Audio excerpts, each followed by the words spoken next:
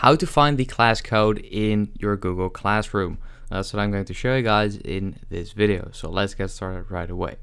Now, first of all, in order to join a class, there's two ways.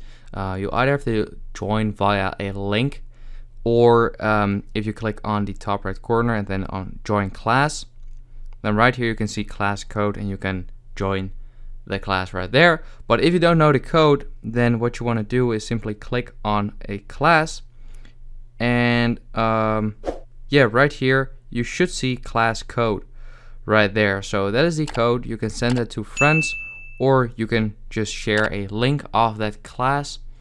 And um, yeah that's basically it. So that's how you can um, find the Google Classroom code.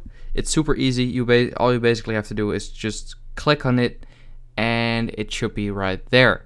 So that's basically it I hope this uh, very quick video helped you out. Please leave a like and let me know in the comments if it worked. I'll see you next time. Have a good day.